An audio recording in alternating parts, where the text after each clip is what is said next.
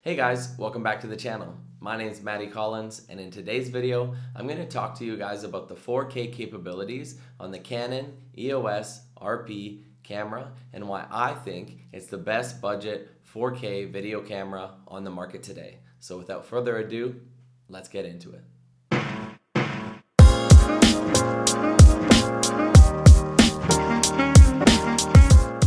So I just shot my first music video ever and I shot the whole thing on the Canon EOS RP in 4K and at 24 frames per second. So in this video, I wanna show you guys the raw files that I got out of this camera versus the graded files that I use for the Final Cut. There's this one effect that I used a lot in Final Cut called Ken Burns, where the camera slowly zooms in and it's a digital zoom on the artist. So you'll see that if I zoom all the way out, I had a wide angle shot and I punch all the way into his face, you'll see just how clear it is by using 4K.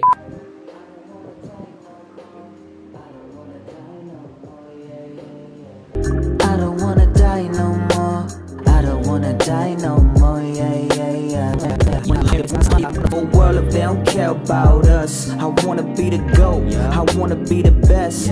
Living out my dreams, so I'm not settling for less.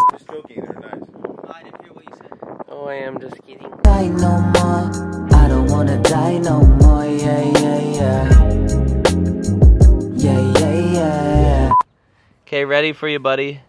A man with a chance, a man with a voice, a man who's been a victim of making his own choice, a man full of soul, a man full of Okay, ready?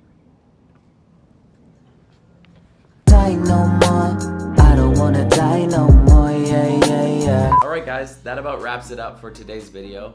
My hope is that by showing you the raw and graded footage, by showing you how you can digitally punch in on this 4K image and it still looks really clean, that you can make a decision on whether you buy the Canon EOS RP or maybe you decide to go with another option. As always, if you found value in this video, please engage with it in any way, like, comment, and subscribe, and we will see you in the next one. Bye for now.